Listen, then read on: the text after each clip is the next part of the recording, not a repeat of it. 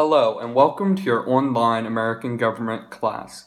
I am your instructor, Mr. Aaron Holcomb. I am from the small town of Crooksville, Ohio, where I graduated from Crooksville High School in 2015.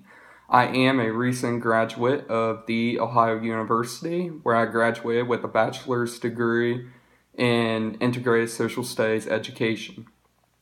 I am passionate about American politics and how our government functions, which makes me very excited to teach this class. I am also passionate about current issues our nation is facing, and I am looking forward to hearing your opinions on these issues. A uh, final thing to know about me is that I have high expectations for all my students, and I will be holding you to those high expectations for the duration of the class.